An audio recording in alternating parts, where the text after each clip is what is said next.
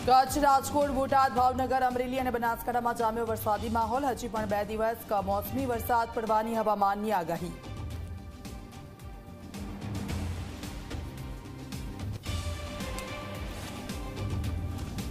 દોઢ કલાક બાદ Gujarat Titans Chennai Super Kings વચ્ચે રમાશે આઈપીએલની ફાઇનલ મેચ. મોટી સંખ્યામાં ક્રિકેટ રસિકો પહોંચ્યા મેચ જોવા. શહેરમાં સાંજના સમયે ભારે પવન સાથે વરસાદની આગાહી.